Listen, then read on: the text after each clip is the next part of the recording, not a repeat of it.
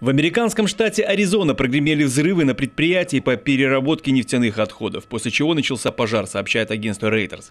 По сведениям очевидцев, были слышны не менее 30 взрывов. Сильное воспламенение возникло рядом с цистернами, в которых хранятся порядка 200 тысяч литров отработанного моторного масла. На месте происшествия работает более 40 пожарных команд. Сообщается, что им удалось взять огонь под контроль, однако пожар продолжает бушевать. Один из резервуаров на 250 литров взорвался и повредил линию электропередачи. С места инцидента были эвакуированы порядка 100 человек. Полиция перекрыла дороги в районе города Феникс. Воспламенение произошло на территории компании, которая занимается утилизацией отработанных нефтяных продуктов.